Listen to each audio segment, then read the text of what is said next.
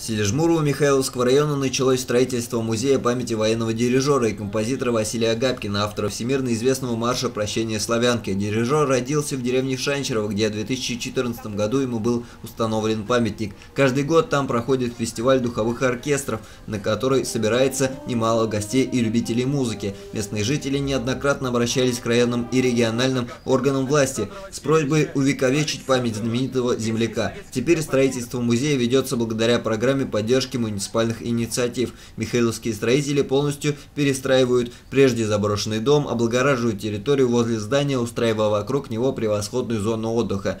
Музей, по мнению главы администрации муниципального образования Евгения Сидорова, изменит инвестиционный климат в отдаленном поселении, привлечет туристов и пополнит туристический кластер Рязанской области. Владислав Окроков, Александр Федосеев и Евгений Быстраков специально для Михайлов ТВ.